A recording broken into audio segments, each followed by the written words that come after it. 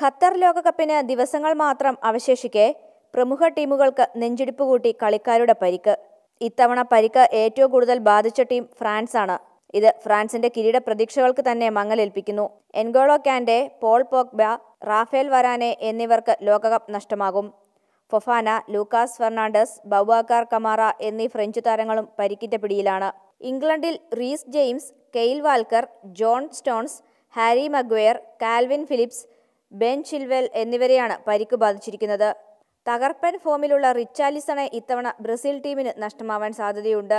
Arthur മിലോയും തുടയ്ക്ക് പരിക്കേറ്റ് ടീമിന് പുറത്താണ്. Diogo Jota Pedro Neto Pepe Nuno Mendes എന്നിവരാണ് പോർച്ചുഗലിൽ പരിക്കേറ്റവർ. തിമോ വർണർ മാർക്കോറസ് ലിയോറേസാനെ എന്നിവർക്കാണ് ജർമ്മൻ നിരയിൽ പരിക്കുള്ളത്. പ്രമുഖ താരം ജോർജിനോ വിജനൽഡം ഇത്തവണ നെതർലൻഡ്സിനൊപ്പമില്ല.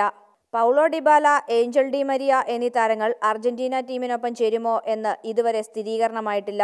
മെക്സിക്കോയുടെ പ്രമുഖ താരമായ റൗൾ ജിമെൻസ് ജീസസ് കൊറോണ എന്നിവർക്കും പരിക്കാണ്. മാർസലോ ബ്രോസോവിച്ച് ഇത്തവണ ക്രൊയേഷ്യൻ നിരയിൽ കളിക്കില്ല.